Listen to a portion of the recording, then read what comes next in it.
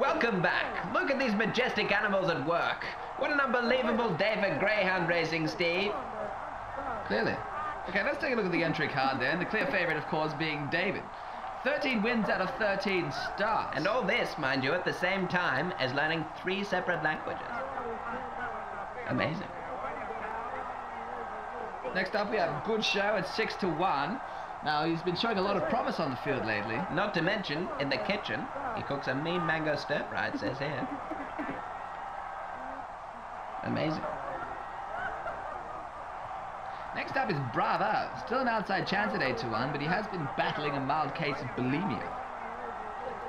I'm battling with the notion that I bet my entire life savings on him.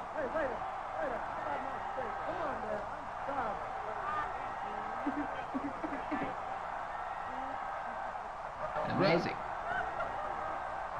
Rounding out the tip. And they're off. Good show. Began well, so did Bravo. Somehow fast down on the inside. Oh no, too slow. Pronto and a homo going to the second half of the field.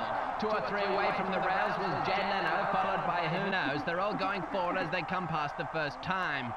One off the rails was Good Show, followed by Bravo, who's well placed. Somehow has the lead early, followed then by Jay Leno. A length and a half to who knows, and David's dropped out, not taking this seriously at all, is he?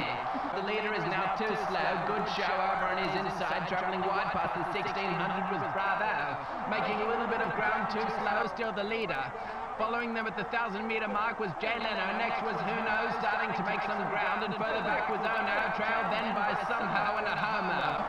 500 to go. It's Bravo by a length. The good show. Jay